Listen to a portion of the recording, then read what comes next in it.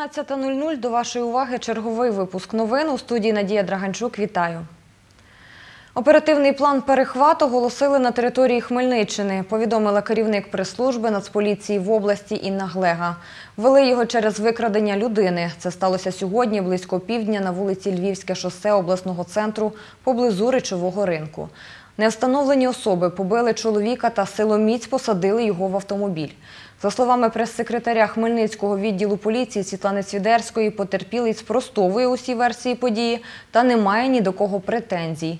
Між двома людьми виник особистий конфлікт. Наразі внесено відомості до єдиного реєстру досудових розслідувань за статтею хуліганство.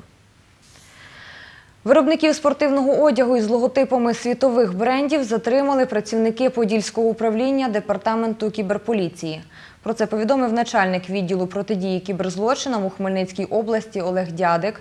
Троє жителів Хмельниччини налагодили схему виготовлення та продажу товарів із логотипами світових компаній. Поліцейські провели 18 санкціонованих обшуків та вилучили близько 30 тисяч екземплярів готової продукції, комп'ютерну техніку, обладнання, документацію та понад 300 тисяч гривень готівкою у різній валюті. Це відео нам надала прес-служба обласного управління поліції. Саме так виглядає підпільний цех, у якому підробляли брендові речі.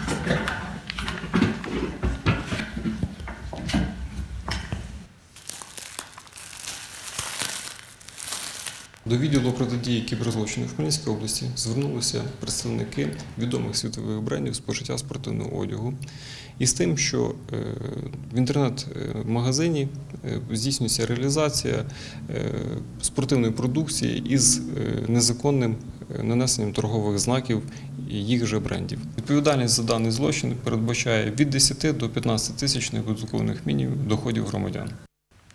Результати перших місцевих виборів у двох об'єднаних тергромадах області оголосила Центральна виборча комісія. За підсумками голосування головою Білогірської селищної громади обрано Василя Мельника. Шаровечківською сільською громадою керуватиме Болеслав Бондар. 26 новообраних депутатів Білогірської селищної ради представлятимуть три політичні сили – аграрну партію, батьківщину та укроп. У Шаровечківській сільській раді обрали 22 депутатів, з них 10 самовисуванців. До депутатського корпусу також увійшли представники від Батьківщини, Радикальної партії Олега Ляшка та блоку Петра Порошенка. Нагадаю, перші місцеві вибори у двох громадах краю відбулися 29 квітня. Сьогодні у селі Вільховець Новоушицького району попрощалися із загиблим на сході 25-річним Костянтином Паршенком.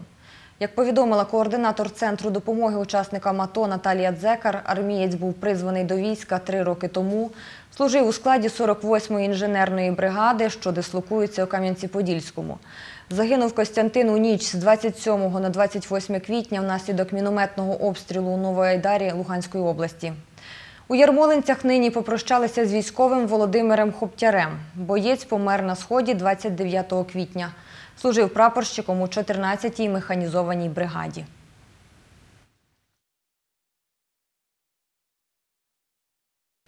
На черги у міському відділі міграційної служби скаржаться хмельничани. Щоб отримати талон для подачі документів на виготовлення ID-картки чи закордонного паспорта, люди приходять на Пушкіна 15 за кілька годин до відкриття міськвідділу.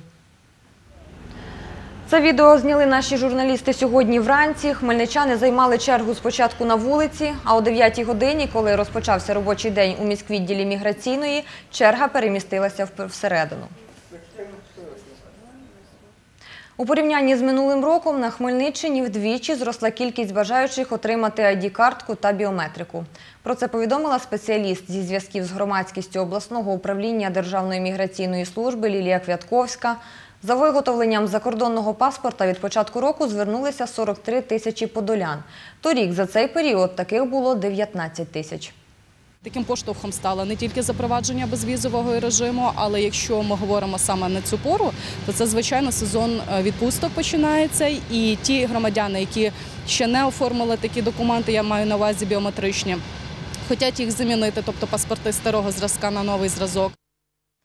Як у відділах міграційної служби збираються боротися з чергами напередодні літніх, літніх відпусток, розкаже моя колега Наталія Сідова у випуску новин о 19-й годині. Більше трьох тисяч робіт надіс- надіслано на другий міжнародний кінофестиваль короткого метра Бруківка. Нагадаю, захід відбудеться з 22 до 24 червня у Кам'янці-Подільському. Як повідомив організатор Бруківки Андрій Заєць, цьогоріч фестиваль охопив понад 120 країн світу. У програмі перегляд конкурсних і позаконкурсних робіт, майстер-класи від українських режисерів, спецпокази та презентації нових стрічок, виставки, виступи музичних гуртів та воркшопи. Серед гостей Бруківки чимало відомих режисерів. Це в нас буде Юрій Ковальов, сторожова застава. Буде Марися Нікітюк. Вона відома за фільмом Куди падають дерева і була відмічена на багатьох європейських кінофестивалях. Потім на 90% буде відомо, що Олексій Шапарів. Він зняв першу спортивну драму Правила бою, яка вийшла минулого року в кінотеатрах. Відвідає продюсер Володимир Філіпов. Він відомий над такими фільмами, як Червоний, той, хто прийшов крізь вогонь, Іван Сила, Стрімголов. Буде блогер Тайлер Андерсон. Він е, відомий тим, що веде цікавий сайт про кіно і попкультуру, і робить ютуб огляди на фільми. Юнаки 2005 року народження Хмельниччини завершили змагання з футболу за призи клубу Шкіряний м'яч.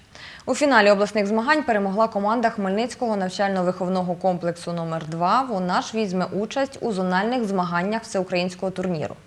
Заступник голови обласної федерації футболу Микола Кузнецов повідомив, національний етап відбудеться в кінці травня, місце та строки проведення ще узгоджуються.